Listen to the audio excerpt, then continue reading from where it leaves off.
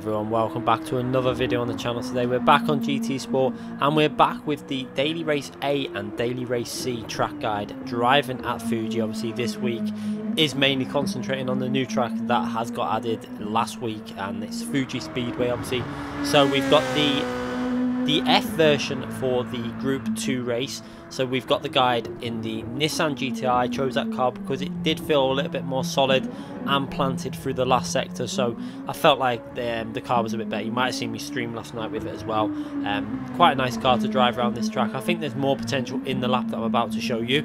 But um, I didn't push it ultimately too hard. I think I can get this down to under a 0.5 possibly, but I'm going to try and point out some of the key braking areas and key turning in areas. It's, the last sector is really tricky. You've really got to um, widen them lines into the corners and stuff and really concentrate on your exit speeds over your entry speeds. And obviously the next one after this, we're going to go straight into the Group 4 car at the GT, the GT layout, which obviously misses out the slow chicane towards the end of the lap. So starting your lap, make sure you get a nice solid exit from that final corner to get a good exit speed working your way towards the start finishing line. Obviously a really long straight at um, Fuji which is really a good opportunity for overtaking in race conditions and obviously get, it's quite actually good because the braking zone you can defend quite well and attack quite well so it, it opens up a lot of opportunities. So going into the first major braking zone you're going to be looking out for the 150 board on the left hand side. You see there just as we um, approach that you're going to break just past it. You see there that's when the first braking input goes in just as we're past that 150 board, braking down in a straight line down in second, and then just as that white line across the road there, that's pretty much my turning input. You see my steering inputs are going in just as I see that white line, and we're going to try and skim the apex of this corner, just about hooking that up, and then try and wait till the car's fully squared off before putting that maximum power in. And you see I try and keep the car fairly straight, and that enables the car to accelerate that little bit better and now going into the next turn two you're going to break just past 100 this time um, in between the 50 and 100 but closer to the 100 board. And you really need to attack this corner. You want to aim for that red bollard there. You see you you want to be aiming your front left hand tire to skim that if possible and that's a perfect line through that corner. Um, if you hit it it can set with the car though but you know for qualifying you really want to be hooking that corner up as close to that as possible. Now going through this really long right hand corner, that shadow there, I kind of use it as a reference for when I give it a little lift off the throttle. You'll see my throttle just come off, let the car coast for a bit and then slowly feed that throttle back in to maximize the speed on the exit of the corner. Then we're going to be approaching our next braking zone. Obviously, you want to get the car back over to that right hand side of the track. It's so important to get that car all the way over there. And the braking inputs are always already coming in well before the 50 board on the right hand side. That's because I'd rather get as closest apex as possible. You see, even with that early braking, I slightly miss the apex there and don't square the car off too well. And that compromises my exit speed now slightly. You see, you can hear it. The throttle doesn't come in as well. And you can actually see the ghost catch up and actually get close to pulling away from me there. So it did compromise me slightly on the exit there, but not a massive amount of um, time lost.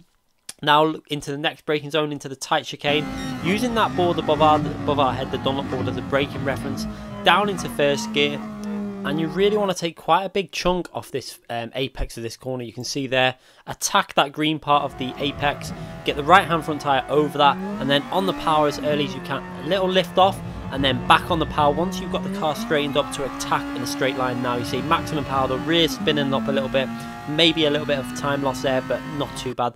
Then this next corner as soon as you see that white apex of the next corner you're going to start braking. It's best to brake early down into second gear and again getting the right hand front tire onto that curb and just be gentle through the throttle inputs here now. You don't just go straight on with maximum throttle go to 50% and then slowly feed that throttle in and then working our way into this tricky left hand corner I like to brake very early, and I've found that keeping the car fairly tight rather than running too far out, far out wide tends to give me better lap time. So I try to keep it fairly tight, and you see again, trying to hook this left-hand tyre up to this apex as much as possible.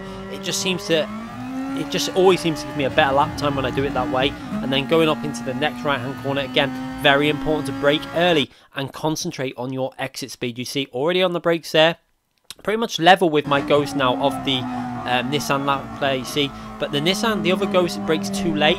I break a little bit earlier on this lap, and then watch. This enables me then to hook this apex up and get on the power that fraction earlier. And you, what you're going to see then, because I get on the power that little bit earlier, watch the ghost slowly fall back. And this is why I always say slow in, slow out. You can see it on the Lexus as well. The Lexus doesn't have the ability on that final corner to really hook it up and look at the difference even from the Ghost. The other Ghost is pulling away from the Lexus and that, that is why I'm using the Nissan basically, just because of that final corner. Through the rest of the lap, the Lexus isn't too much different, it's fairly um, competent, but it's just that final corner, you just can't get on the power and obviously because that leads onto a long straight, it loses you a good few temps. So have a little look at this lap now from behind the car on the chase camera you can see hooking that corner up fairly nicely then straightening the car off nice and easy, early on the power, giving yourself maximum acceleration into turn two. You see now braking just past that 100 board, you can see it there. And really attacking that corner is so important to really attacking these Super GT cars and the Group 2 cars. They love to be driven aggressive. Um, obviously, with maximum downforce, these cars are really fun to drive, so you really need to be aggressive. You can see swinging it from each side of the track. It's so important at Fuji to utilize every um, width of the track to utilize you know utilize your maximum angles into these corners it, it, does pay off to give you that little bit of extra exit speed and you see they're braking on the Dunlop board. And again you can really be quite aggressive on the curves with the Nissan I think a little bit more so than you can with the Lexus which probably helps this car out as well. Has a bit more traction in early gears first and second gear. The Lexus likes to spin them wheels up a little bit more than the Nissan does. So I think that's where some of the time comes in this last section because it's just a little bit more stable to drive. I'm going to probably try and get on on Thursday after the FIA race and push this lap a little bit more and maybe obviously do another stream driving this race and possibly the A race. I've obviously got the guide done for it, but it's I was a little bit disappointed when I saw the Veyron being the fastest car at that track. I've done the guide in the Veyron because I think that's going to be the most popular car used. So obviously I want to do it in that car to help as many people out as possible. So we're going to go on to the Veyron lap now in the Group 4 car at the slightly different variation of the track. Obviously it's the GT variation for the Daily Race A. And was it, like I said, was a little bit disappointed it was this car. Would have rather it have been something a little bit nicer to drive. I, I don't mind this car to drive. I just find races a little bit boring when it's in the Veyron. So going into turn one, very similar to the braking in GR2, but you're braking a little bit earlier than the 150 board this time. You see the braking going in there. Whereas we were just past it, we're now just before that 150 board. Braking again in the straight line all the way down through the gears and you can actually hit first gear. I found that you can do this in second gear, but I found if you do it in first gear and then just lift and then get on the power nice and early, it tends to gain you a good tenth of a second. You see, you can see the, the um, delta there was with staying in second gear and it's actually gained me a good um, tenth of a second. You lose a little bit on exit, but that was partially because I got on the curb there and went a little bit loose and obviously lost a bit of time. But now braking pretty much just past 100 board again, down into fourth gear, and again you have to be very aggressive with this car. I was running free to the rear brake balance on this lap in the Group 4 car, the Veyron, um, to try and help swing it into these corners. You can see again trying to clip that um, bollard as close as possible, but it's a lot harder to do in this Group 4 car because it naturally understeers a lot more with the four-wheel drive system. And then that means you're going to have to be really delicate and play with the throttle through this right hand corner. You're going to see lifting off the throttle no inputs now for the throttle and then a little dab of the power full power now to see if I can keep that throttle down. But I realised I couldn't do it so I had to lift off again briefly. Really got to play with that throttle. And again very similar getting the car over to the right hand side brake early before well before the 50 board down into second gear but the benefits of this four-wheel drive system is you can just really stamp on that power as soon as you feel that you're not going to understeer. Why so already on maximum power? Coming out the exit of the corner early upshift into third gear obviously the Veyron you don't want to shift this at maximum revs. You want to shift around two-thirds to three-quarter revs. That is pretty much the optimum range of um, shifting with this car. And then going into the next braking zone, we're going to brake just past that Dunlop because we don't do the chicane with this variation of the track. It's a really fast right-hand corner, and I really attack this on this lap. I'm going to tell you something about this after though. And you see, I attack it you can cut this slightly. You can see you want to aim for that green bit of um, Astra on the right hand side, but don't cut it too much. You will get a penalty. And try to keep it on the track ran a little bit wide but not as wide as obviously I found out after doing this lap that some other people have been doing it. Um, braking as soon as that curb on the left hand st side starts there the red the red curb that's when you're hitting your brakes and again you want to really get close to this apex on the right hand side staying in third gear and you'll find that the Veyron is very good over the curb, so you can be quite aggressive on these curbs in the Veyron. And then on the power, really early, again, so much traction, you're not going to lose traction in this car, it's got grip galore.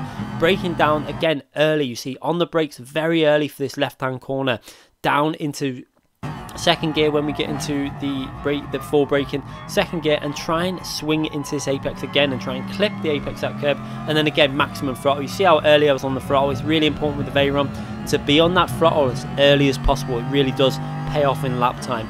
Then going through the final corner again, very early on the brakes, very similar to the Group 2 car. You, you need to concentrate on your exit speeds. It's going to gain you a lot of time.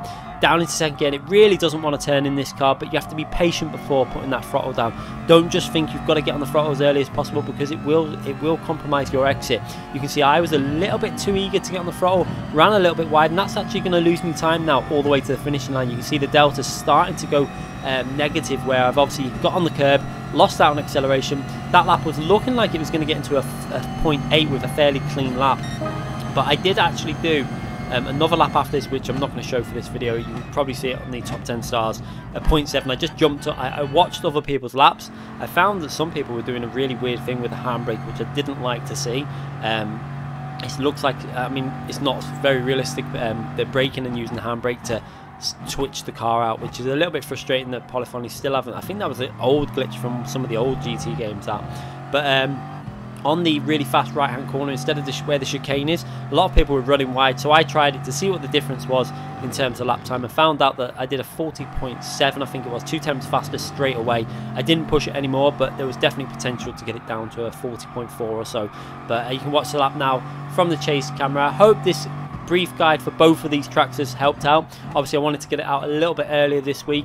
Um, did want to get out the Le Mans race today, but only just managed to get this video finished. So I'm going to try and get the Le Mans video out tomorrow, and then that will give me a bit of time tonight to practice for the FIA because I haven't done anything for the FIA race yet. So I'm going to jump on later, learn the FIA and the Porsche at this track again. So a lot of Fuji recently. Obviously, with it being a new track, you can see there where I ran wide, but you can actually run a lot further wide than what I did there, which is what you'll see in the top 10 stars. Um, my lap, I ran really far wide. It just seems to let you get away with anything at this track in terms of running wide outside the track. But yeah, the FI race is going to be at this track again in the uh, manufacturer series. I think the Porsche is very strong here. So, should be an entertaining race once I'm used to the track in that car. I do like the track, so hopefully a good result will come tomorrow in the FIA. I should be able to do an earlier split also, so maybe a bit more competitive and the higher points up for state um, grabs. Obviously, eight rounds for this season, so going to try and get a few more um, high scoring rounds this season and maybe put a bit more. Um, you know, doing all the rounds rather than just a few of them.